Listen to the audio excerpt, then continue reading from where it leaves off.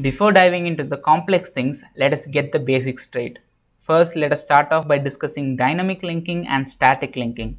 Right now, you don't have to know in detail how the dynamic linking works, but yeah, let's look at them.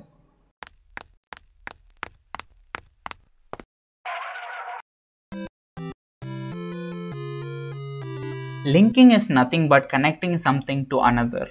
In this case, we are seeing different types of connections of binaries to libraries or its dependencies. Let us start off by creating a C program that does two printf statements.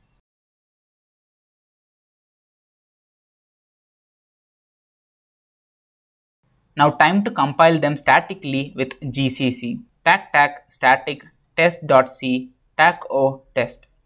Let's run this program and yeah we get the two printed statements. Now let us see how the binary is in the disassembly.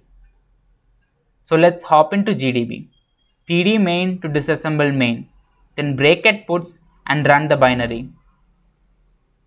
Now look at the address of puts.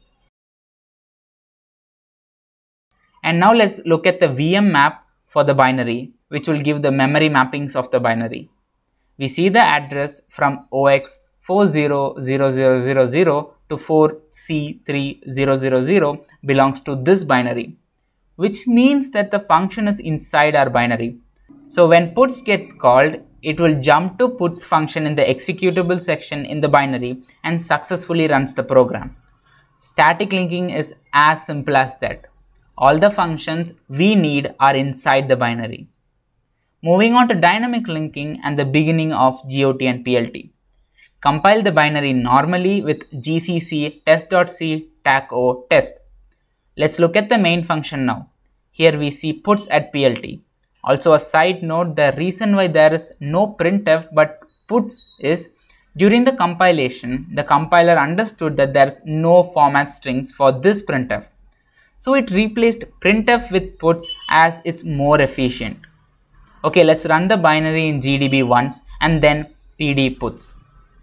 Wow, a really huge address. This can mean only one thing. The address is directly from libc or binaries dependency. This can again be confirmed by vmmap.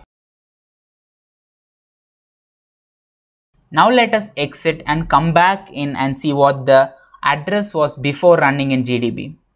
So pd puts to show the disassembly of puts function. Okay, this function seems nothing like the real puts function. So let us see what this interesting thing is. There are three statements in the puts at PLT. The first statement will jump to the GOT table of puts. So this GOT table is like the table containing all the real address of functions and variables in the libc. In simple terms, GOT is nothing but a table full of libc function addresses in particular order. But are things really that simple? Does the GOT contain the address of puts function from the libc? No. Yeah, that's right. The GOT is initially filled with the address of the next instruction in the PLT, which will push off a number, then call something called a DL runtime resolve. Okay, time to explain. First, when the binary calls the put function, it jumps to the PLT which has the first instruction as jump to the GOT table of puts which will jump back to the next instruction in the PLT, which will push a number, not a random number, but this number can be thought of as the index of the name of the function in the string table.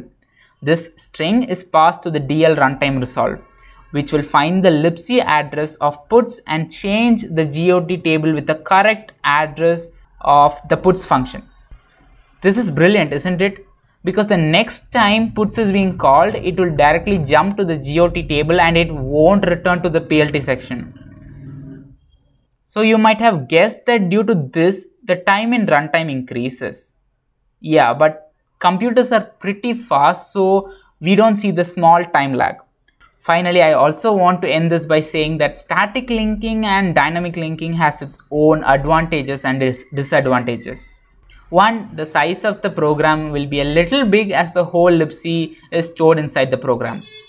This won't affect the users who are just uh, using one libc but this will affect the users who use multiple dependencies in larger programs also many people can work on this binary as there won't be any problem in the dependency as dependency is already built in the binary whereas in dynamic linking the program size is pretty small and also many people can't work in the same project if they have different dependencies yup computers are indeed amazing isn't it We'll see you in the next video where we'll try to exploit this global offset table with an overwrite. So bye bye.